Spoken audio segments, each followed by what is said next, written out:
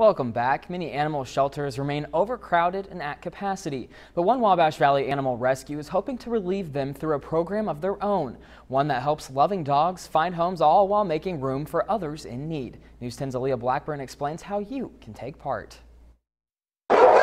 Rescuing dogs has been the life of Joyce Deckard for more than 20 years. We're out here you know, 18 hours a day taking care of the dogs. At our little bit of heaven animal rescue and sanctuary, these dogs have seen it all, from tragic cases of animal hoarding and neglect. Dogs that most won't pull or won't take in, bigger dogs, behavioral problems, uh, bully breeds. To the ones with medical issues and old age. No one wants to adopt a senior dog. They don't want to go through that end of life process too soon and we don't want them dying here. We want them to know a home. The Forever Foster program is new to Indiana, focusing on the unwanted and overlooked, giving them a chance at forever at no cost to you. They bring the dog into their home. They love the dog. They take care of it and, and nurture it, and we pay for everything. From vet visits to food, the rescue covers it all. She is so sweet.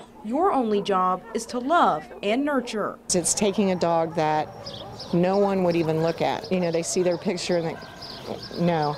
But then you get that dog into a forever foster home and they find out how fantastic they are. Since its start one year ago, more than 20 dogs have fostered out. And with time, Deckard says there's hope for more. I mean, it just makes your heart swell to the point of, of wanting to explode. It's amazing. It's a win-win. You know, it's a win for the dog and it's a win for the people. Because you can't put a price on forever. In Poland, Indiana, Aaliyah Blackburn, News 10. Forever Foster is open to senior dogs and ones with medical or physical disabilities. They recently started to add bully breeds into the program as well. If you're interested or would like to learn more, visit our website, WTHITV.com, for contact information.